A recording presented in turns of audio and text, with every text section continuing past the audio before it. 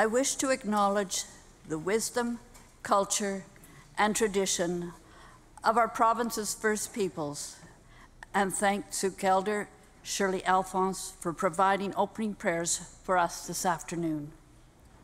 We gather in the People's House on the traditional territories of the Lekwungen speaking peoples, the Songhees and Esquimalt First Nations. As we open a new session of the Legislative Assembly, our thoughts and our hearts are with the people in the interior, where communities are fighting the worst wildfire season our province has ever seen.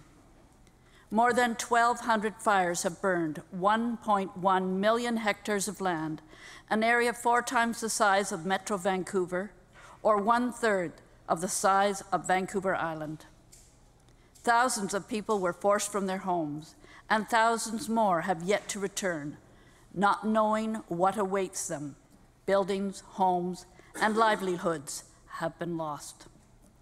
In times of trouble, communities come together we are grateful to our firefighters, RCMP, and Canadian Armed Forces, as well as the public employees and emergency responders who are working hard to keep communities safe. We thank the Canadian Red Cross and other service agencies, the federal government, and every British Columbian, Columbian who volunteered, donated money, money, and opened their homes and hearts to people in need. Fighting these persistent and difficult fires remains a top priority. Together, we will get through this. Together, we will re rebuild. First responders throughout British Columbia are also on the front lines of another crisis, which is more deadly and equally devastating. Powerful opioid, opioids like fentanyl have taken too many of our loved ones. In 2016, we lost 978 people to overdoses and 876 more in the first seven months of this year. People who had long lives ahead of them, full of promise and potential. People who needed help, but died alone because they weren't aware of the risks, couldn't find treatment, or believed it wouldn't happen to them. The scourge of fentanyl afflicts communities across North America, it demands an immediate and direct response, which your government is determined to provide. While those driven from their homes by wildfires are beginning to return, other British Columbians find themselves without homes of any sort. The circumstances that bring a person to homelessness can be as arbitrary and unexpected as a wildfire, but it is no less devastating. Those without homes need and deserve our help. Your government is determined to work with all levels of government, federal, municipal, and First Nations, to address homelessness, which touches every region of our province. These are challenging times. British Columbians have the talent, the strength, and the spirit to meet these challenges and many more. As we mark the passing of British Columbians we have lost, let us not forget that their spirit lives on in the acts and deeds that helped make our province a better place. Community volunteer Tom Oshiro, environmentalist Gwen Barlee, sports trailblazer Barbara Howard, political scientist Norman Ruff, MP and women's rights advocate Margaret Mitchell, yoga innovator Michael Stone, writer and commentator Merv Addy, and we remember Ian Moore Wilson, who was killed in a senseless attack of terrorism in Barcelona, Spain. We honor them and their contributions to our province. British Columbians deserve a government that is working for people. Families in BC work hard to give their children a better life than they had. They spend more and more income on a safe and secure place to live and sacrifice more time away from home on longer commutes. Young people dream of a post secondary education, but high tuition and housing costs have put many of those dreams out of reach. Students graduate with a burden of debt that holds them back just as they are starting out. Parents need safe, affordable childcare. Yet many must leave the workforce because wait lists are too long, spaces aren't available, or care is just too expensive. Seniors who need stable care and a helping hand are struggling to find timely medical care and an affordable home so they can live their final years in dignity. Families want to raise their children in the communities they grew up in, yet housing prices are so unaffordable they are being pushed out, a situation as astonishing as it is unacceptable. And the people in BC's rural and remote regions who deserve the same opportunity as all other British Columbians face higher unemployment and have fewer services in their communities. The problems facing people today are the result of past choices. Choices that resulted in a generation of student learning in overcrowded classrooms, out of control housing prices, growing waits for services like healthcare, and the rise of part time, low paying jobs. These are choices that have divided people and created disparities between rural and urban BC. Our province cannot continue down this road we cannot afford to shut people out of opportunity, and we cannot afford to leave families behind. Starting today, your government will make different choices, choices that put people first. We will listen, deal honestly with the problems facing us today, and bring people together to find solutions. We will defend BC's interests, economy, environment, and our coast and we we'll share BC's prosperity with all of the people who built this province. Your government will work hard today and every day to make life better and help families get ahead, guided by the values of help and hope, respect and dignity, justice, equality, and fairness. Your government will build a better BC where no one is left behind. The work begins by setting a strong foundation, starting with a government to government partnership with Indigenous peoples. Working with First Nations and all Indigenous communities, your government will embrace the United Nations Declar- Declaration of the Rights of Indigenous Peoples and address all of the calls to action issued by the Truth and Reconciliation Commission into residential schools. These are important commitments which your government takes very seriously. We cannot continue to push these actions further down the road to a day that never comes. Together with First Nations and all Indigenous peoples, your government will seek to bring these principles to life. We must build a true partnership based on rights, respect, and reconciliation. We can only move forward together. A government that is working for people must start out on a new path with new ways of working that transform our politics and put people first. Your government is based on a new and innovative agreement between two parties, which provides the basis to move forward on important initiatives to reform our democratic processes, protect our environment, and build our economy. An agreement rooted in the belief that the legislature works best when we recognize that no single party has all the answers. All sides must come together to deliver a government that works for people, a government they can count on. This fall, your government will put people at the heart of our politics. Government will reform BC's campaign finance laws to eliminate corporate and union donations, put strict limits on individual contributions, and make sure that only people living in BC can donate to our political parties. Your government will bring forward legislation to move BC's fixed election date to the fall of 2021 and every four years thereafter to make sure government's annual budget and financial priorities are focused on people, not politics. Government will set the terms for a referendum on proportional representation to take place no later than November 2018 and will actively campaign in favor of reform so that citizens can be assured that every vote counts. And new lobbying restrictions will make sure former public office holders do not improperly benefit from their experience serving the public. Your government is encouraged by the broad support for these reforms that exists across all parties in this legislature. It is a welcome sign to British Columbians who expect their interests to be at the heart of government decision making. The people of BC must always come first. Governments must listen.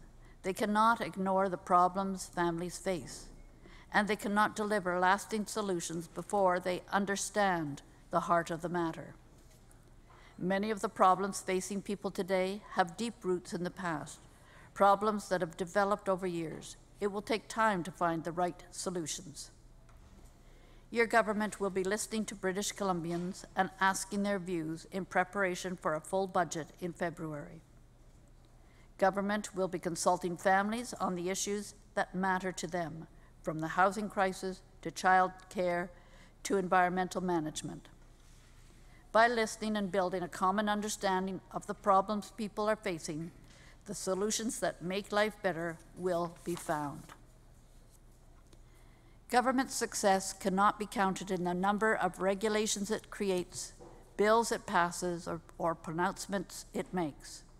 Success must instead be measured by how its actions and decisions benefit people.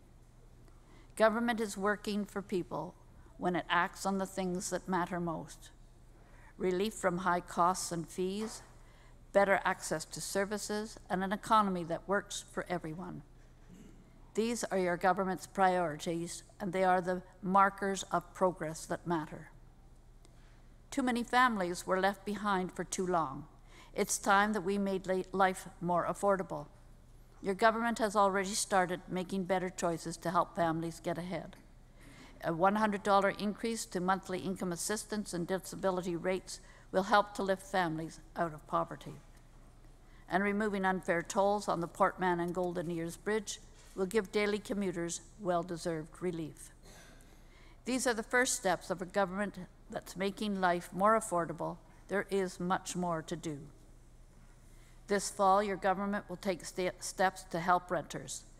Fixed term lease loopholes will be closed, so people are no longer vulnerable to significant rent increases. And we will increase support to the residential tenancy branch to make sure tenants and landlords are treated fairly. Your government will establish a fair wage commission to put our province on the path to a $15 an hour minimum wage. The commission will set the course for stable and predictable increases over time, helping those who have learned so little for so long. Decisive action is being taken to fix the, problem at, the problems at ICBC and BC Hydro to make sure our Crown corporations can deliver the best possible service to the people of British Columbia at the lowest possible cost. For the first time in the history of this province, your government will work with citizens to create a legislated poverty reduction plan. BC is the only province in Canada without such a plan. This important work will get underway in the coming weeks. Government will deliver a province wide universal child care program that is safe, accessible, and affordable. It will start by creating more spaces to help families waiting months and years for quality care and training more early childhood educators.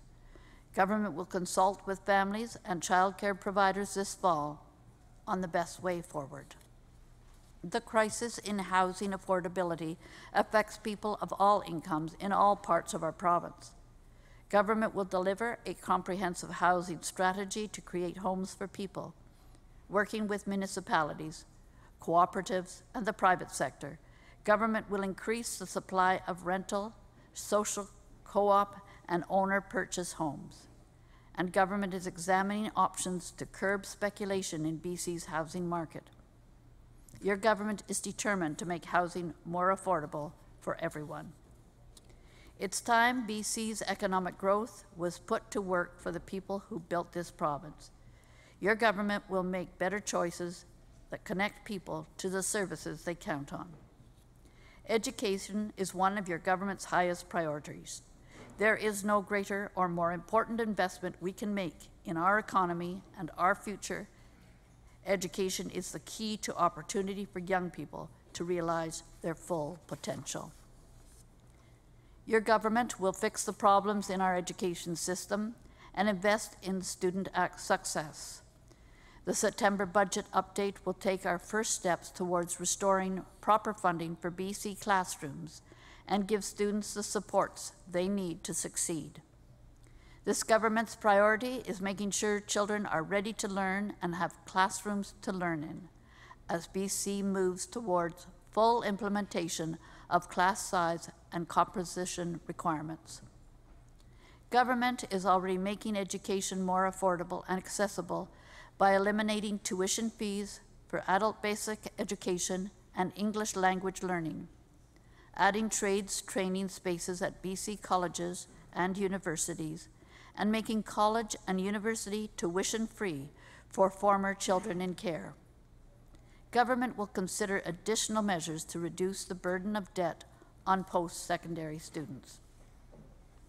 There is so much more government can do to deliver the services that people count on.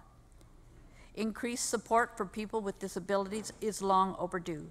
Starting January 1st, 2018, government will provide people with disabilities access to the transportation supports they need, including an annual bus pass for those who want one.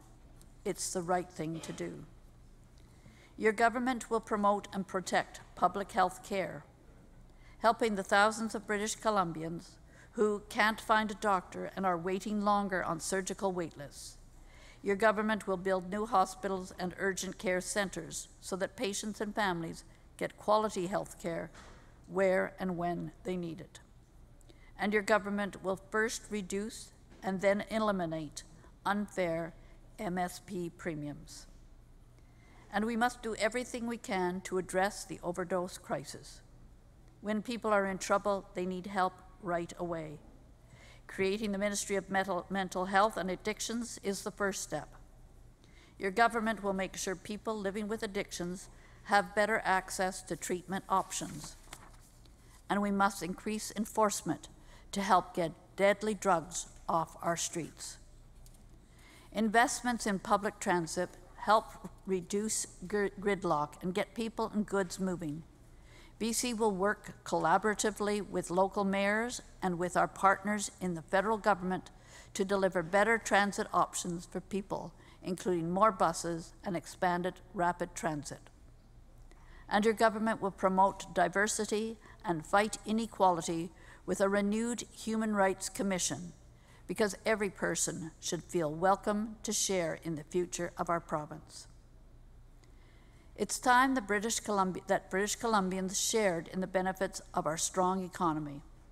Your government will make better choices to invite people into BC's continued economic growth. This government will support BC's traditional industries, including forestry, mining, agriculture, and natural gas development.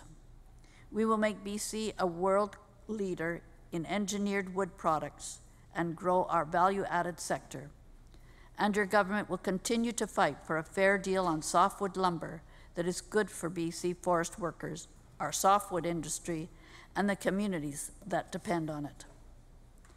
This government will invest in natural resource projects that create jobs and opportunity for people, where British Columbians receive a fair rate of return for our resources.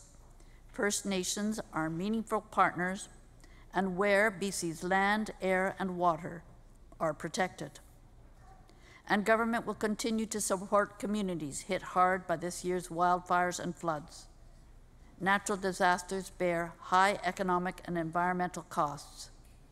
Our people are strong, our communities resilient. When the fires are extinguished and the crisis has passed, British Columbians will come back even stronger than before. Government will work with them to rebuild local economies, including forestry, tourism, small business, and agriculture. There is much more to do. Starting with initiatives to spark innovation and growth of a sustainable economy. This fall, your government will establish an Innovation Commission, an initiative of the Green Party caucus, to encourage new investment in BC's technology sector. Government will promote innovation in every region of our province because everyone deserves to benefit from and share in the wealth created by the 21st century economy.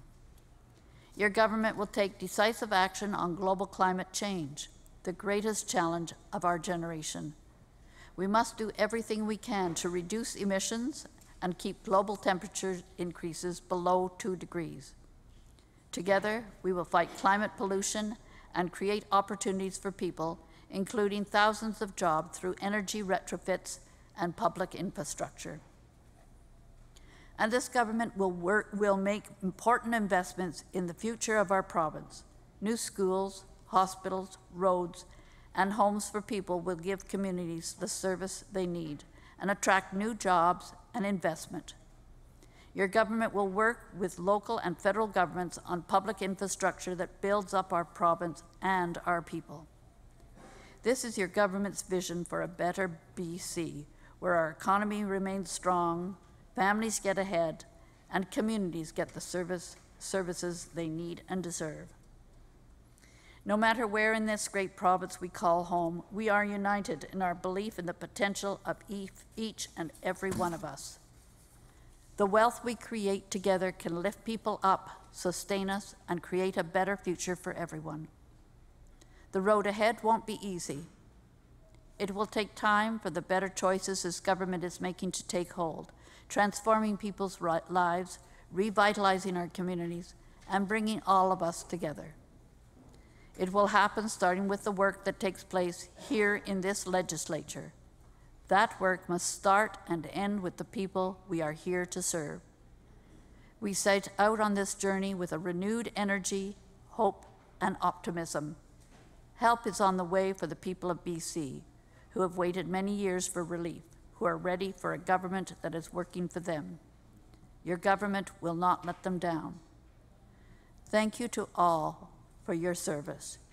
You and your families sacrifice much so that you may work for the betterment of all British Columbians.